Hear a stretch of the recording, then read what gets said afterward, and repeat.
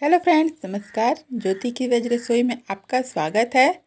आज मैं आप सबके साथ बहुत ही टेस्टी, सबको पसंद आने वाली भिंडी की रेसिपी शेयर करूँगी। जी हाँ आज की रेसिपी बहुत ही टेस्टी होने वाली है तो एक बार ज़रूर ट्राई कीजिएगा। तो आइए फिर आज की बहुत ही टेस्टी रेसिपी स्टार्ट करते हैं। तो यहाँ पर मैंने आधा किलो भिंडी लिया है, जिसे मैंने पहले से धो कर रखा था, इसमें बिल्कुल भी पानी नहीं है। अगर आप उसी टाइम पे धोते हैं तो इसे कपड़े से पोछ लीजिएगा, इसमें बिल्कुल भी पानी नहीं रहना चाहिए। अब इसके ऊपर के सिरे को हम इस तरीके से कट करके अलग कर देंगे। और यहाँ पर मैं एक नॉर्मल साइज़ की भिंडी को तीन टुकड़ों में कट करने वाली हूँ। साइज़ आप अपने हिसाब से थोड़ा बड़ा या छोटा कर लीजिए। अब इसे बीच से भी मैं थोड़ा सा इसमें कट लगाने वाली हूँ। ये देखिए इस तरीके से पूरा आर पार नहीं करेंगे, बस बीच से थोड़ा सा कट लगाएँगे और बीच में अंदर चेक कर लेंगे। तो इसी तरीके से सारे पीसेस को मैं बीच से कट लगाने वाली हूँ। ये देखिए इस तरीके से। तो सेम इसी तरीके से सारी भिंडी को हमें कट करना है। तो फिर मैं आपको पूरी भिंडी को इसी तरीके से कट करके दिखाती हूँ। ये देखिए मैंने यहाँ पर सारी भिंडी को कट कर लिया है। साइज़ उसी तरीके से मैंने सेम रखा है। जो भिंडी थोड़ी छोटी थी उसमें दो टुकड़े किए हैं और जो थोड़ी बड़ी है उसमें तीन टुकड़े। तो आप अपने हिसाब से साइज़ को कर लीजिएगा। अब आगे की तैयारी कर लेते हैं।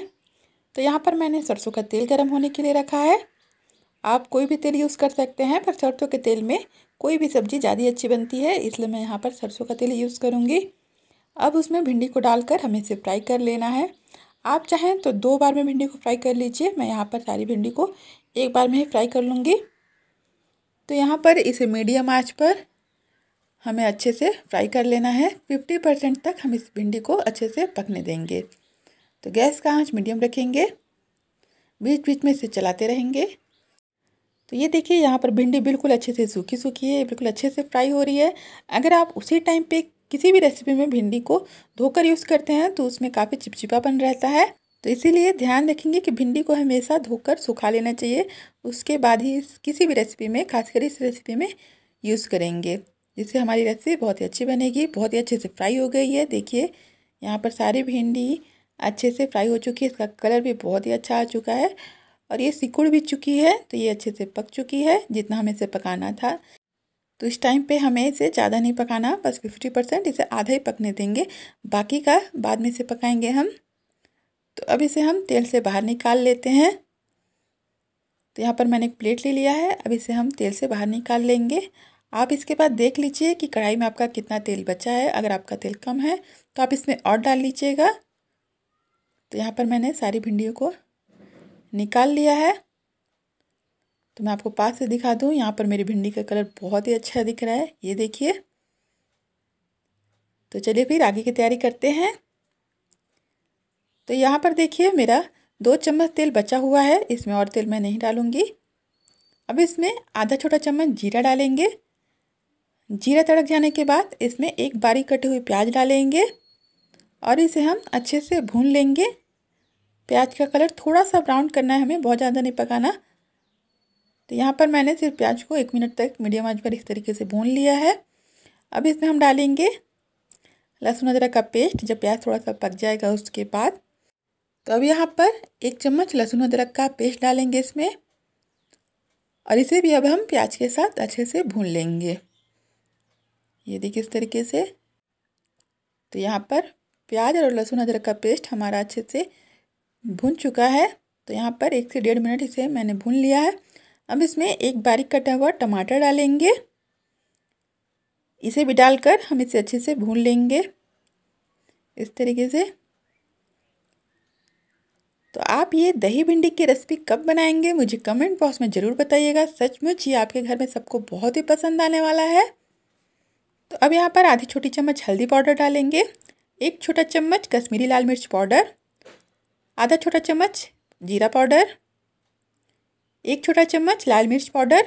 आपको कितना तीखा पसंद है, आप उस हिसाब से मिर्च का यूज़ कर लीजिएगा। अब इसे हम अच्छे से मिक्स कर लेंगे। टमाटर को अच्छे से सॉफ्ट हो जाने तक हम इसे पकाना है। तो अब इसमें हम नमक डाल देते हैं। तो यहाँ पर एक छोटा चम्मच मैं नमक का यूज़ करूँगी। आप अपने टेस्ट के अकॉर्डिंग नमक का यूज़ कीजिएगा। अब इसे हम अच्छे से मिक्स कर लेंगे।